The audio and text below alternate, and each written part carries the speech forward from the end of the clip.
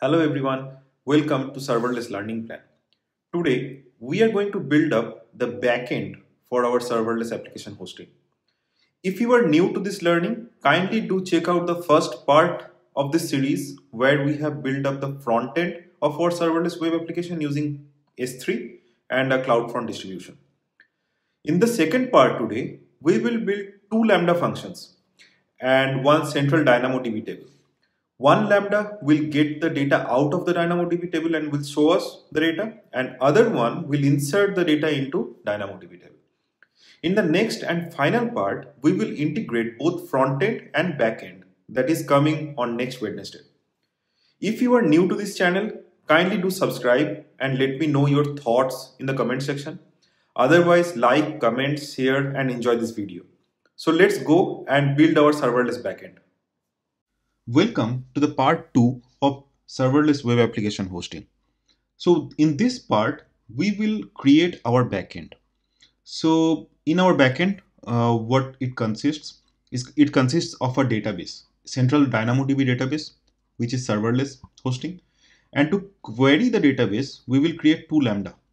One Lambda to insert mm, uh, into the DynamoDB table and the other Lambda to fetch data from the DynamoDB table.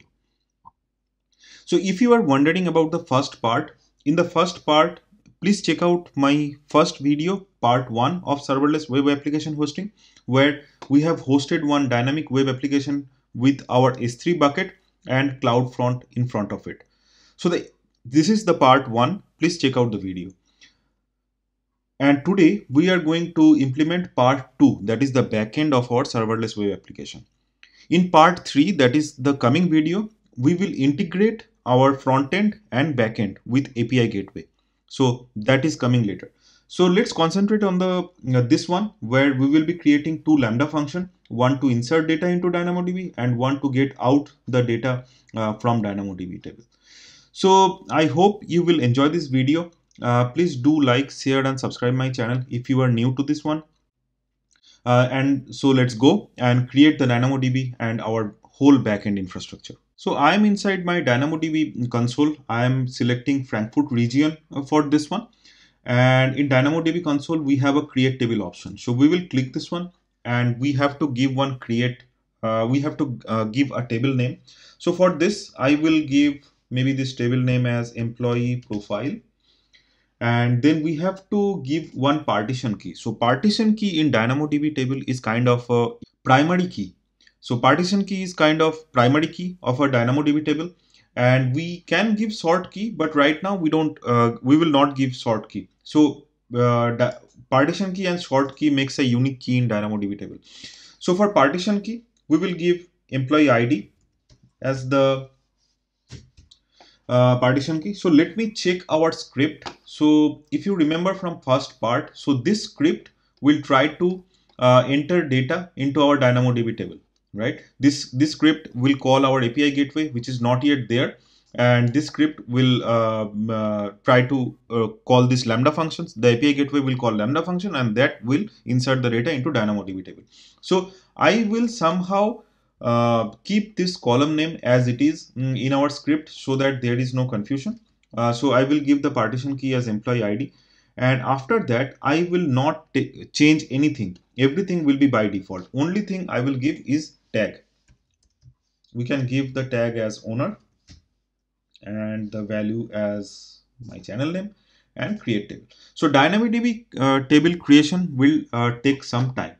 So in between what we can do uh, we can create our two lambda functions. So let's go to our lambda console and create two lambda function. So here is my lambda uh, console and same uh, region I am in, uh, using the Frankfurt region and I will create the first function. So the first function is get employee.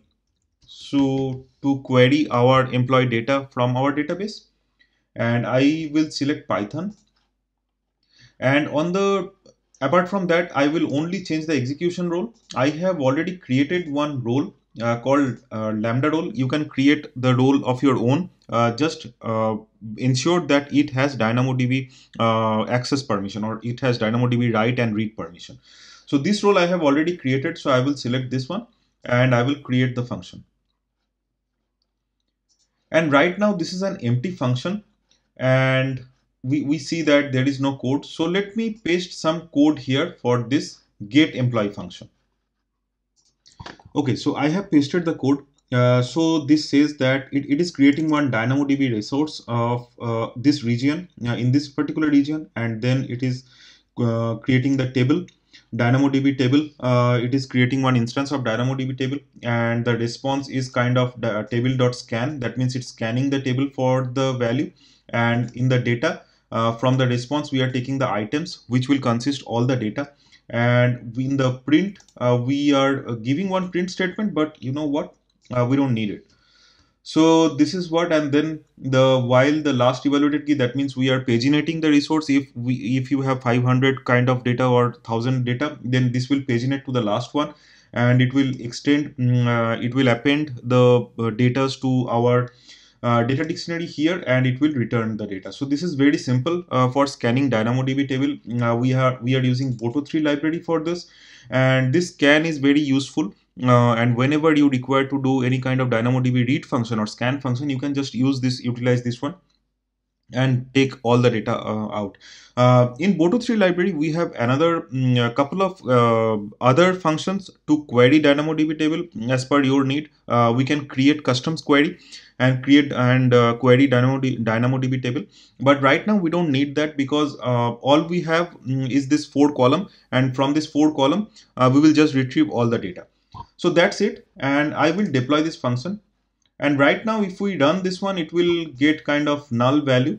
Uh, let's run this one once at least we can check that uh, so first let's check if our table is up or not okay our table is up and so what we will do we will for testing purpose it will anyway return null value and but uh, let's see if our function is okay or not so our function is okay, uh, run is fine, the lambda did not uh, return any kind of error. That means our function is okay. So this is for our getting the employee. We need another function. If you remember the mm, uh, keynote here, we need another function to insert the data into Dynamo, uh, DynamoDB table. So let's create another lambda function to insert the data.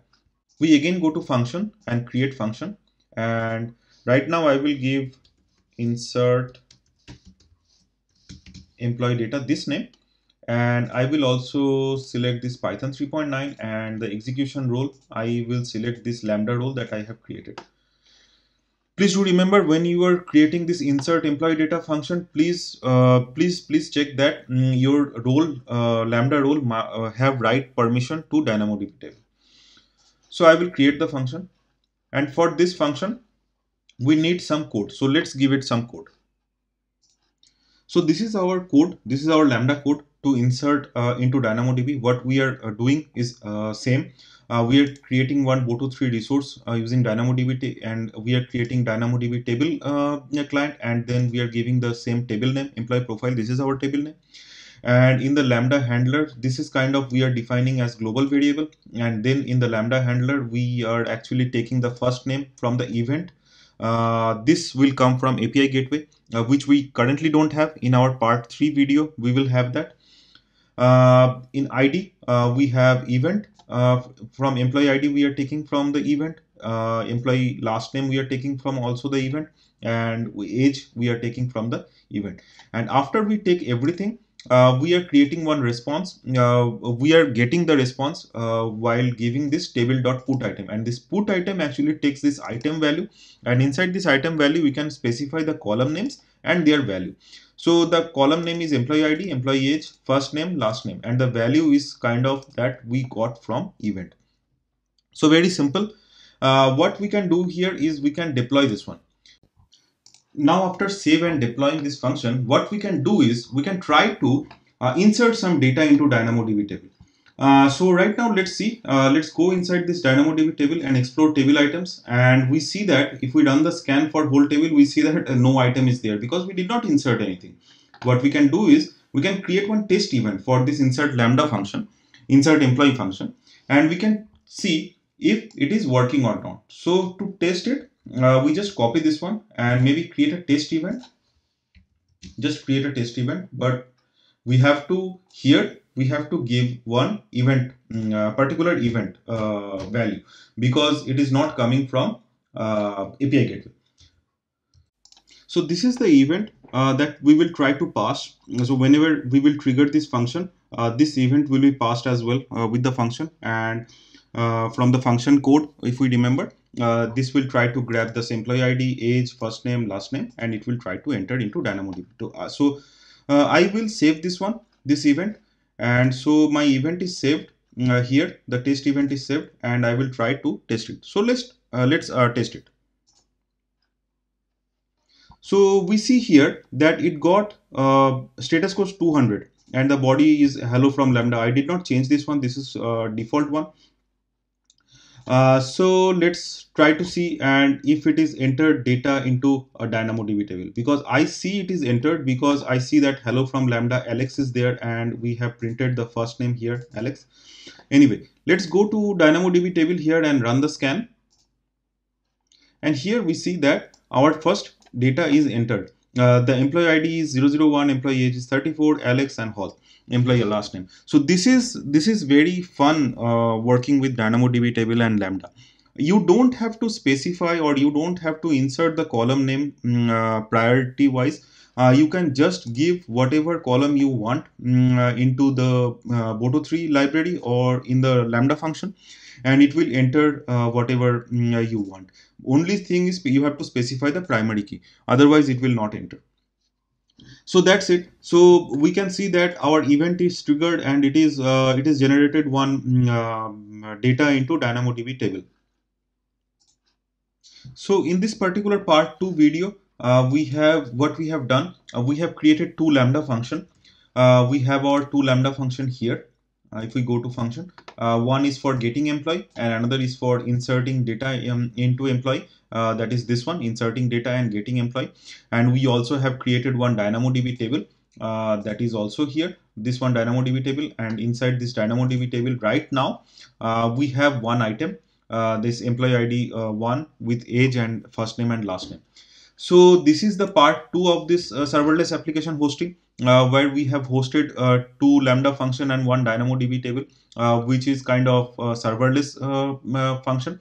And in the third part or in the final part of our serverless hosting um, about web application we will we will integrate our front end and our back end with api gateway so this API gateway will be in between from our front end and our back end and it, it will serve the request from front end and it will serve it to Lambda function and insert the data into DB.